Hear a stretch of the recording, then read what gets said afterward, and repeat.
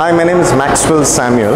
So I'm the father to Amrita. Uh, she has just completed her uh, BSc in hotel management at uh, when SRM uh, when E Tangal branch.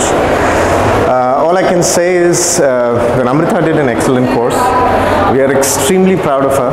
My wife and my elder daughter, who are not here with us physically, though virtually, uh, joined me in congratulating her. And uh, she's made our family extremely, extremely proud. We know she'll go great places. Uh, uh, she is basically taken the first rank for BSc uh, in hotel management from SRM University, and oh my God, she's taken us places. She's going to go places as well. I thank the entire faculty at her college who were possibly the backbone to ensure that she has reached this this place. And so I'm very grateful to the team there, I wish Vinamrita all the best in all her future endeavors.